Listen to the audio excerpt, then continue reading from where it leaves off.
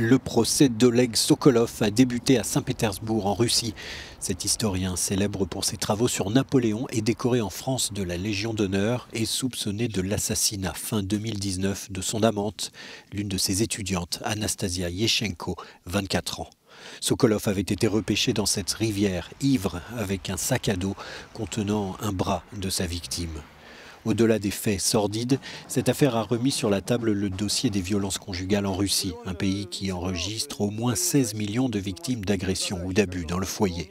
Vladimir Poutine a décriminalisé plusieurs formes de violences domestiques en 2017 et la plupart des agresseurs s'en tirent aujourd'hui avec une amende.